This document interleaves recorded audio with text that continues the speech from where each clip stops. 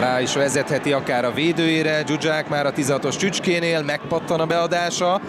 Babunski, nagy mentés volt Dorian Babunski elő, hiszen most már mind a ketten bent vannak a Babunski tesók. A szép, el is lehet lőni, óriási védés, és a kipattanót Dorian Babunski közelről belövi a hálóba, kinéz az asszisztense, aki nem emeli az ászlaját, aztán utána visszaszerzi a labdát, itt ugye Kusnyír beteszi középre, ugye a kapus Russák segítségével, hiszen ez egy nagyon jó kis lövés volt, Russák középre ütés, pont oda Dorian Babunskihoz.